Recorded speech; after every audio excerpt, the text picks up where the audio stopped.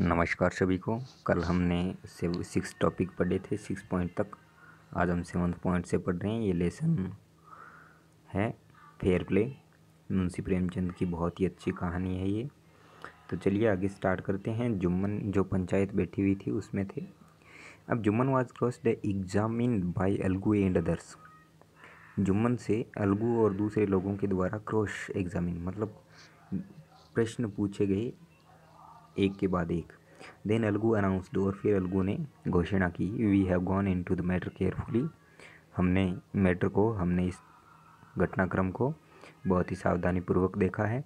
In our opinion और हमारी राय में Jumman must pay his aunt a monthly allowance और हमारी दृष्टि में जुम्मन को अपनी चाची को एक मासिक भत्ता देना चाहिए। और else the property was back to her अन्यथा प्रॉपर्टी है, वो वापस उसकी चाची की हो जाएगी।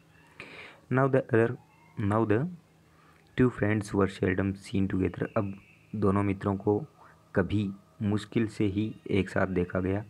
The bond of friendship between them was broken उन दोनों के मध्य जो मित्रता का बंधन था, वो टूट चुका था। In fact Jumman was Algu's enemy and wanted her his revenge और वास्तव में जुम्मन अब अलगू का दुश्मन बन गया था और वह उससे अपना बदला लेना चाहता था, क्योंकि अलगू ने पंचायत में उसके विपरीत फैसला सुनाया था।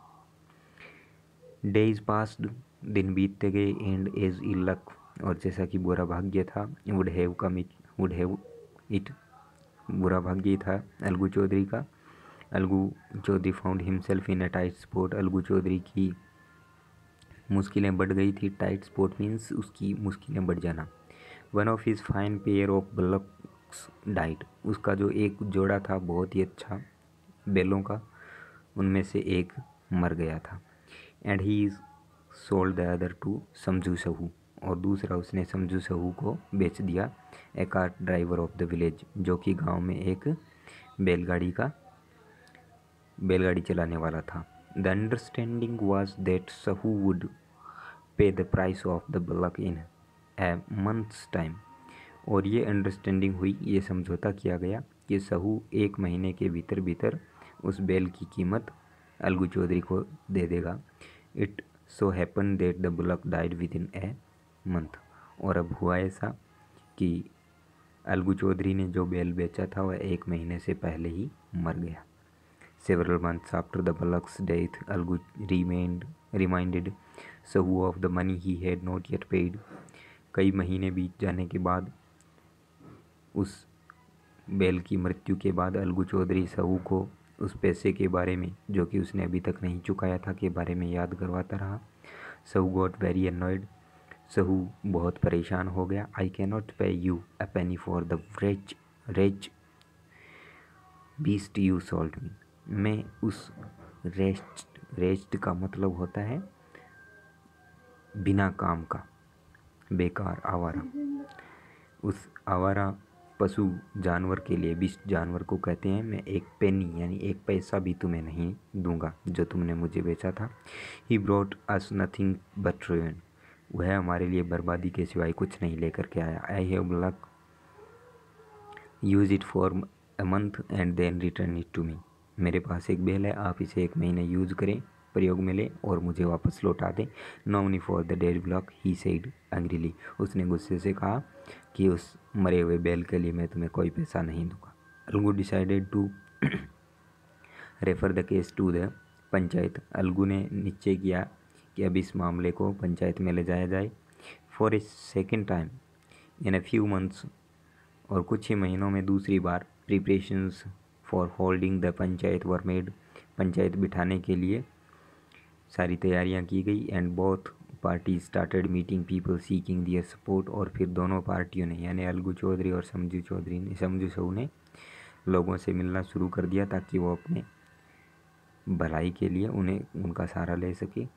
The panchayat was held under the old banyan tree उस पुराने बनियान के पेड़ के नीचे, बरगद के पेड़ के नीचे पंचायत हुई। Algu stood up and said Algu खड़ा हुआ और बोला the voice of the panch is the voice of God भगवान की आवाज़ ही पंच की आवाज़ होती है, यानी भगवान जो बोलेगा वही पंच के मुँह से निकलेगा। Let Sahu nominate the head panch I will abide by his decision अब सहू को पंचायत का मुख्य पंच चुनने का अवसर दिया जाए, मैं उसके डिसीज़न से, उसके निर्णय से बता रहूँगा Sahu saw his sons and propose the name of Jumman Sahu ने मौका पाया और ऐसा देख करके उसने जुम्मन का नाम लिया। Algu's heart sink and he turn pale. Algu का दिल बैठ गया और वह पीला पड़ गया but what could he do परंतु वह कर क्या सकता था?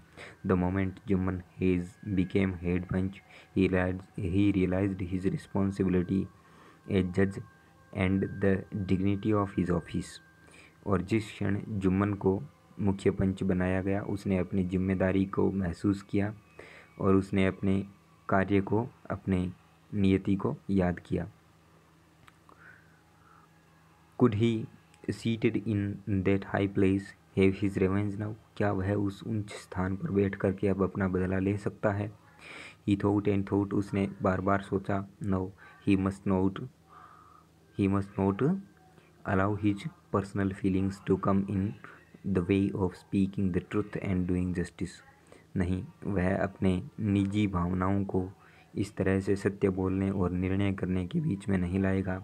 बहुत Algu and Sahu stated their cases दोनों, अलगू और सहू ने अपने अपने केस अपनी अपनी बातें सामने रखी। They were cross examine and the case was considered deeply उन दोनों से प्रश्न पूछे गए और पूरे केस को, पूरे मामले को गहराई से जांचा गया, परखा गया। Then Jumman stood up and announced और फिर जुम्मन खड़ा हुआ और उसने घोषणा की it is our opinion that Sahu should pay Algu the price of the bullock हमने ये निश्चय किया है, या हमारी ये राय है कि सहू को अलगू चौधरी को उस बेल के बदले पैसे देने चाहिए। When Sahu bought the bullock और जब सहू ने उस बेल को ख़रीदा था it suffered from no disability और डिज़ीज़ उसको न किसी प्रकार की अक्षमता थी, न किसी प्रकार का कोई रोग था।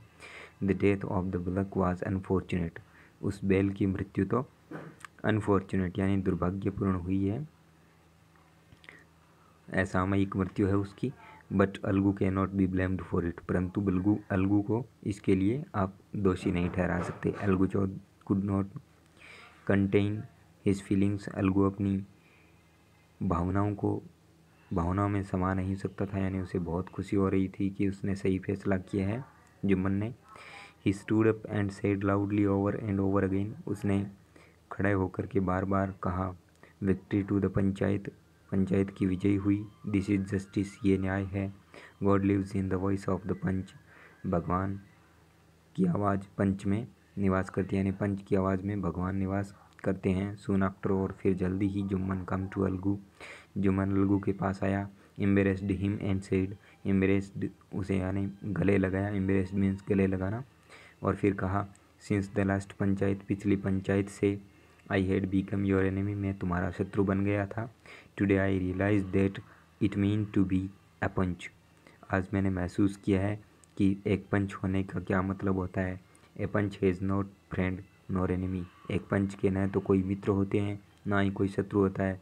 ही नाउज ओनली जस्टिस वह केवल न्याय जानता है। Let no one devote deviate from the path of justice and truth for friendship और एनिमिटी अब किसी को अपना रास्ता, न्याय और सच्ची मित्रता या फिर शत्रुता के लिए किसी से अपना सच्चा रास्ता जो होता है वह छोड़ नहीं देना। चाहिए, यानी अपना रास्ता नहीं मोड़ना चाहिए।